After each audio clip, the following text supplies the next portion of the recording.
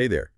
Ready to unlock the power of AI? Always. Today we're diving deep into the world of large language models. Oh, those incredible AI systems. Yeah, the ones that can generate text, translate languages, and even write different kinds of creative content. I know. It's amazing what they can do. Got a stack of fascinating sources all about the tools that are making it easier than ever to build with these LLMs. Even if you don't have a background in coding. Exactly. It's like stepping into a world where anyone can become an AI architect, you know? I love that. The tools we're exploring, LangChain, LangGraph, LangFlow, and LangSmith, are opening up a whole new realm of possibilities for building AI-powered applications. I'm especially excited because these tools are all open source. Oh, that's huge. Yeah, which means they're constantly evolving, being shaped by a vibrant community of developers. A lot of brilliant minds working together. Okay, let's unpack this. We've got these four Lang tools. It's a mouthful. I know, it can feel a bit like alphabet soup at first. Yeah. So to help us keep them straight, maybe we could start with a challenge. A problem that these tools are designed to solve. Sure, that's a great idea. Imagine you're trying to build an app that can answer questions based on information scattered across multiple documents. Okay, so a pretty common problem. Oh yeah, this is a common challenge in many fields, Yes. from legal research to customer support. Definitely. Traditionally, this would require a lot of manual effort to extract and synthesize information. Mm, Okay, I see where you're going with this. So how do these tools help? Well, let's start with LangChain. Okay. It's a framework that allows you to chain together different operations to create a workflow for your LLM. So you're connecting different things together. Yeah, think of it as a series of steps that your LLM will follow to accomplish a task, Okay. like a recipe. So in our document question answering example, Yes. we could use LangChain to create a chain that first retrieves relevant documents, then summarizes them, Right? and finally uses the summary to answer the user's question. Exactly. Each step is like a building block. I like that analogy. And LangChain lets you easily connect those blocks together. So it's like the foundation. Yeah, and one of the coolest things about LangChain is its modularity. Okay. It supports a wide range of LLMs, So you're not stuck. so you're not locked into using a specific one. Gotcha. It also has built-in components for handling things like prompts, memory, and agents, Okay. which we'll talk about more later. Okay, so LangChain is like the foundation. It gives you the tools to build basic LLM workflows. Uh-huh. But what if you need something more complex? Right. What if you want to create a system where multiple AI agents work together, kind of like a team of specialists? That's where LangGraph comes in. Okay. LangGraph, as the name suggests, uses a graph structure Yeah. to model these multi-agent systems. Imagine you're building a virtual assistant that can handle tasks like scheduling appointments, booking travel, and managing emails. So like a really advanced virtual assistant. Much more than we have now. Each of those tasks could be handled by a separate AI agent. And LangGraph provides the framework for coordinating their actions. So LangGraph's like the manager. Yeah, it's like having a project manager for your AI team. Gotcha. LangGraph helps them communicate, share information, and work together seamlessly. You mentioned agents. Yeah. Could you explain what those are and how they fit into all of this? Think of an agent as a mini AI program with a specific role or expertise. Okay. In our virtual assistant example, you might have a scheduling agent, a travel agent, and an email agent. Each with their own specialty. Each agent has its own knowledge and capabilities, and they can collaborate to complete tasks. That makes sense. LangChain also has agents, but LangGraph really excels in orchestrating these multi-agent systems, especially when the workflow is more dynamic and unpredictable. So LangChain is great for simpler workflows, while LangGraph handles the more complex multi-agent scenarios. Okay. This is all starting to make sense. But before we move on, I'm curious about something.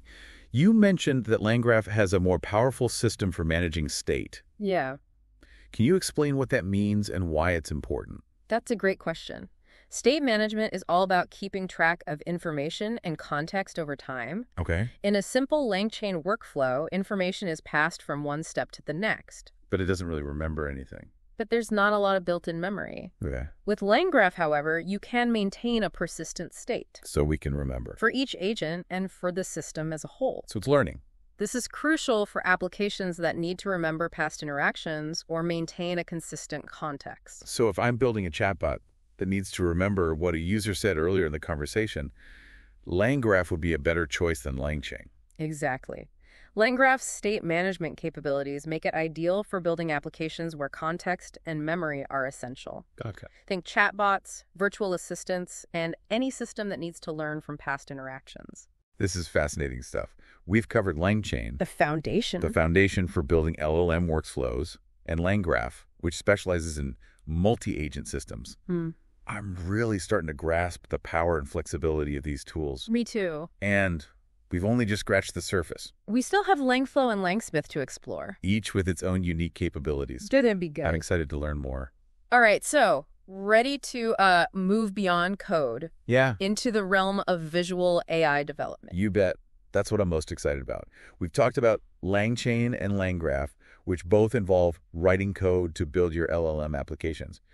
But now we're moving into the world of no-code or low-code AI development with LangFlow. Exactly.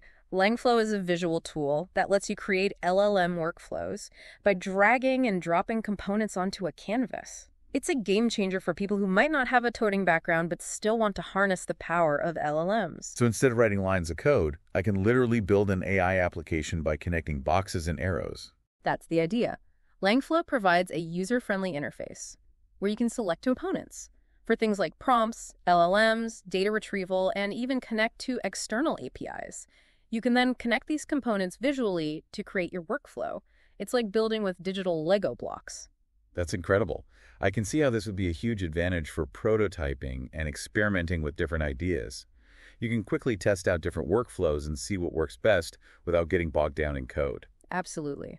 Langflow is perfect for building minimum viable products, MVPs, and getting something up and running quickly. It allows you to focus on the logic and functionality of your application without worrying about the technical details of coding. Plus, I imagine it makes it much easier to collaborate with others, even if they don't have coding experience. Oh, definitely. You can share your visual workflow and get feedback or iterate on the design together. You're spot on. Langflow promotes collaboration and makes AI development more accessible to a wider range of people. It's a powerful tool for democratizing AI. Okay, so we've got LangChain for building foundational workflows, LangGraph for managing complex multi-agent systems, and LangFlow for visually designing applications without code. But how do we know our applications are performing well? How do we ensure they're reliable, efficient, and behaving as expected? That's where Langsmith comes in. Okay, Think of it as a quality assurance tool for your LLM applications. gotcha. It provides monitoring, debugging, and evaluation capabilities to help you understand how your application is performing and identify any areas for improvement.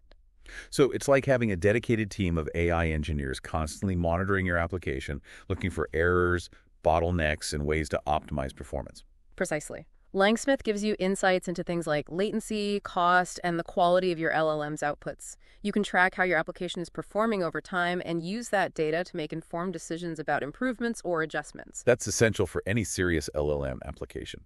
You need to be able to trust that it's working correctly and efficiently, especially if it's handling sensitive data or interacting with users in real time. Absolutely. Langsmith helps you build confidence in your applications and ensures they're operating at their best. This whole landscape of Lang tools is incredibly impressive. We've gone from building basic workflows to orchestrating multi-agent systems to visually designing applications and ensuring their quality. It's mind-blowing how much progress has been made in making AI development more accessible and powerful. I agree. It's an exciting time to be working with LLMs. These tools are opening up a world of possibilities, and I can't wait to see what people create with them. Me too. We've covered a lot of ground in this deep dive, exploring the capabilities of LangChain, LangGraph, LangFlow, and Langsmith. It's been a whirlwind tour of the LM development landscape, and I'm already buzzing with ideas. I'm right there with you. These tools are incredibly versatile, and I can see them being applied to a wide range of industries and challenges. It's like we've been given a set of powerful new building blocks, and the only limit is our imagination. Okay, so we've explored these incredible tools, LangChain, LangGraph. LangFlow and Langsmith, and I'm already starting to see how they could revolutionize so many fields. Yeah, it's like we've unlocked this whole new level of creativity and problem solving. Exactly. Let's talk about some specific examples. Sure. You touched on virtual assistants earlier. Right. How could these tools be used to create even more powerful and intuitive assistants? Well, imagine a virtual assistant that can not only manage your schedule and emails, Yeah. but also learn your preferences Oh, wow. and anticipate your needs that would be incredible. using LangGraph. Okay. You could create a system where multiple agents work together to understand your context, So they're all working together. learn from your interactions, Wow. and provide personalized support. That'd be amazing. Yeah. No more sifting through endless emails or struggling to keep track of appointments. Your AI assistant would be like a super efficient personal secretary. Exactly. And think about the possibilities in education. Oh, yeah? We could use Langflow to create interactive learning environments. that adapt to each student's individual learning style. So personalized learning. Imagine a system that can assess a student's understanding, Okay. provide personalized feedback, Wow. and even generate customized practice problems. That's a game changer. It could make education more engaging, effective, and accessible to learners of all levels. Absolutely. And let's not forget about the potential impact on creative fields. Oh, interesting. We're already seeing AI being used to generate music, I've seen that. art, and even write stories could put amazing. with these tools. Yeah. We could empower artists and creators to push the boundaries of their imagination even further. It's exciting to think about the collaborations that could emerge between humans and AI. For sure. Artists could use these tools as a source of inspiration, Yeah. a way to explore new ideas, Mhm. or even as collaborators in the creative process. Absolutely. And as these tools become more widely adopted, Right. we'll likely see entirely new forms of art and expression emerge Things we can't even imagine. that we can't even imagine yet. It's like we're at the beginning of a new renaissance, fueled by the power of AI. But with all this potential Yeah. comes responsibility, right? Of course. It's crucial that we use these tools ethically and responsibly. Absolutely. We need to be mindful of potential biases, ensure data privacy, and always prioritize human well being. Couldn't agree more. And we also need to think about the broader societal implications. Yeah. As AI becomes more integrated into our lives, Right. how will it impact jobs, education, and our relationships with technology? Those are important questions. Yeah. And they don't have easy answers. Definitely not. But having these conversations now is essential to ensure that we're shaping the future of AI in a way that benefits everyone. So, what's the one key takeaway you want our listeners to leave with today? For me, it's the incredible potential of these open source tools to democratize AI. I like that. They're empowering anyone, regardless of their technical background, to build incredible things with AI. It really is incredible. It's a truly exciting time to be in this field. I couldn't agree more. This deep dive has been an eye opener, and I'm feeling inspired by the possibilities. Me too. To our listeners, we hope you're feeling the same way. Keep exploring, keep learning, and keep pushing the boundaries of what's possible with AI. It's an amazing time to be involved. Until next time, keep diving deep.